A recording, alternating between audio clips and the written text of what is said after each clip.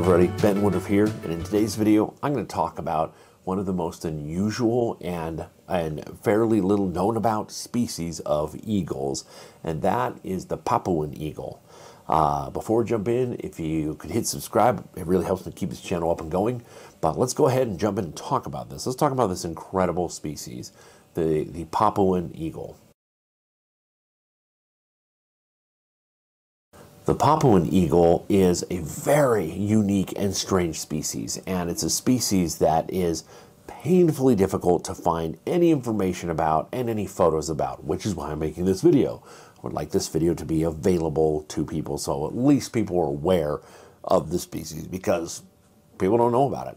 So the Papuan eagle, I grew up in the books that I read, which were written even before my time. This bird was called the New Guinea harpy eagle. And so there was a harpy eagle in my books, but then there was also a New Guinea harpy eagle on the other side of the world. And I was kind of confused by that. Well, later on, people said, oh, you know, it's not really a harpy eagle. Uh, the harpy eagle is in Mexico, Central America, South America. The Papuan eagle, the, the New Guinea harpy eagle is not really a harpy eagle. Well, then they did DNA tests, and it turns out it is. So there's a clade with three eagles that kind of form this sister lineage together, which is the true harp eagle, which is the most powerful eagle on the planet with incredible grip force in their feet, and then the uh, Guyana crested eagle, which has basically the same range as a harpy, but it is much smaller and uh, much narrower, uh, but kind of some crossover there, and the Papuan eagle of Papua New Guinea. The Papuan eagle is unique. It's very strange. Most eagles of the world have a situation where they have a lot of different color morphs, where they, they, they hatch and within six months they're full size because it takes longer for an eagle, baby eagle to grow. Six months they're full size, and then their first year they have a color phase. Then they molt at one year and they get a new color phase, a new color phase. They have five or six different distinct color phases until they reach their adult coloration. Now, we don't know why this is, but kind of the belief is that's a way to advertise to a mate, hey, I have adult coloration. That means I've survived this long. That means I'm, I'm, I'm a good choice for a mate. I know how to survive. I know how to hunt. I've got good genetics. Uh, we think it's something like that. Um, we're not sure about that, but that's how it seems. Papuan eagles are not like that. They're very subtle. Now, for most people, especially you're looking through binoculars in the rainforests of Papua, you're probably going to not be able to tell the difference between an adult and a juvenile. Ah, it is so hard to find any photos of these birds online. And what I could find, I can't tell a difference. You know, I looked up, there is some slight differences with the barring between adults and juveniles. And there wasn't enough that I could show this is a juvenile, this is an adult. Don't know why that is. But again, one of the things we also think in the tropics, so many birds of prey, the juveniles look like a juvenile harpy eagle. So juvenile harpy eagles are very white, and there's tons of other birds of prey. For example, ornate hawk eagles. Ornate hawk eagles, very colorful, vibrant birds, but their first year of life, they almost look identical to a juvenile harpy eagle. So we think that the, the reasoning in this, and again, genetics just does its thing. It just kind of falls into place. It's not like it's all figured out.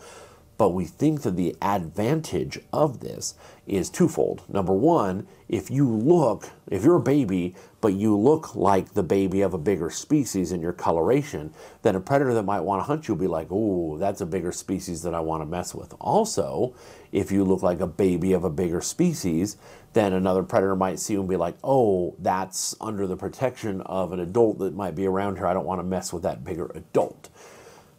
Well, those selective pressures are not in place in Papua. They, the, the raptor, the range of raptors there is far more limited, and there's not a lot of direct competition with the Papuan eagles. Kind of, kind of top dog in its area, and so the juveniles and the adults basically look the same. There isn't a huge differentiation. Um, these birds are, are listed as vulnerable. Uh, they, um, there's not very many of them. They have a five foot wingspan, which is not huge, and their weight isn't that big either. They weigh 3.5 to 5.3 pounds, you know, with of course the males being smaller than the females, is common with all birds of prey. Uh, now, that is not a large wingspan. It, it may seem big, but if you're working with eagles, it's not big. However, that is uh, uh, this is a forest dweller, and we know the, the basic body design of forest dwelling raptors is to have short rounded wings and a very long tail. Short rounded wings, you flap fast and you can dive in and pull without hitting your wing feathers and breaking them, but a longer tail helps you to be more agile. So um, that, that, that, that works for them. Their skeletal structure remember, don't don't trust feathers. Feathers lie. Uh, feathers will. If you have a bird that looks like it has a big old poofy head, it's not the case. It's just feathers. You know, you look at the jawline. I always have to tell that with people with bald eagles. People think bald eagles have enormous heads, but they they don't. Do I have a skull handy? There we go. Here's a skull of a bald eagle. Not very big, right? Because in truth, the actual skull, the actual head looks much larger because the feathers on the head and also the neck are all white. So people wrongly assume, oh, that's all the head. And no, it's not the case. So don't trust feathers. Uh, trust the skeleton. The skeleton will tell you the true essence of the animal. And the essence of this animal, the closest comparison is a much better known species in the New World, is the great black hawk. The great black hawk has a very similar skeletal structure, it has very long, lurpy legs. Um, now, they are different because uh, a great black hawk has very broad wings and it normally hunts fish. But other than that, the, the skeleton underneath is very similar, almost identical. Having long legs, what advantage does that have for you? We don't know. Um, but if you're trying to reach in and grab things through the trees, maybe that gives you that last little bit of effort. But this, this, this is an enigmatic species. Uh, has a very unique call. Listen to the call here.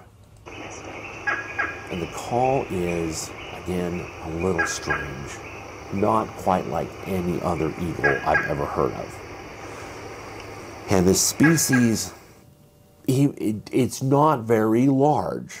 And again, if you're looking at this bird, you might think, oh, it's a big bird. But again, you compare this to a stinking harpy eagle, a true harpy eagle, they're tiny. Harpy eagle is big, female harpy eagles, the biggest recorded weight of a female harpy eagle in captivity, to be fair, so it's probably fatter than normal, 27 pounds. And these guys don't top any more than 5.3 pounds. So again, that's even smaller than a male golden eagle. And yet, these guys hunt some incredibly large and dangerous prey. So the food, one of the things they hunt regularly are tree kangaroos, which that's nuts. Tree kangaroos are really cool, interesting taxon where they they're, they're kangaroos that went from the ground to the trees. So they hop up into the trees and they're starting to develop having gripping hands again. Uh, they hunt ring-tailed possums, which are another. Again, these are animals that are powerful and can hang on really well to these branches. They hunt uh, giant naked-tailed rats, which is a big, powerful species. They hunt a wide range of marsupials, a lot of different marsupials. They hunt a lot of tropical pigeons and doves, which shows that they have a lot of speed and agility.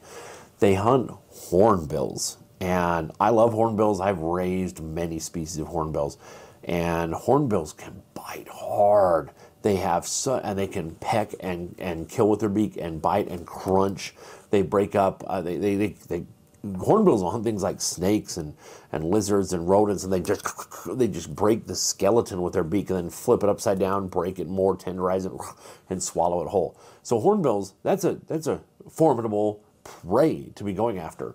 They hunt cockatoos, which again cockatoos i've been i've raised many cockatoos and if you ever get bit by a cockatoo they darn near take off your finger so again that's a dangerous prey item to go after they will hunt juvenile cassowaries Cassowaries are um, among the ratites like ostriches, emus, rheas, kiwis, cassowaries. Uh, cassowaries are known to be the most aggressive. Cassowaries have um, on their feet their inner toe, the claw is long and straight, and they'll kick and stab you with it.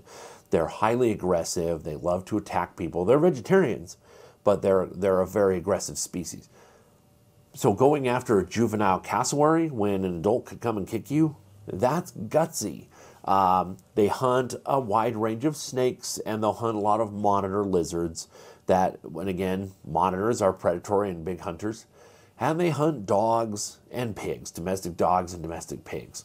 So this is a comparatively small eagle that's ridiculously gutsy and and very few people have worked with them in any capacity and very few people have seen them. Uh, Papua is so remote and hard to access and hard to get into the backcountry. Uh, there's so much kind of undiscovered country in there.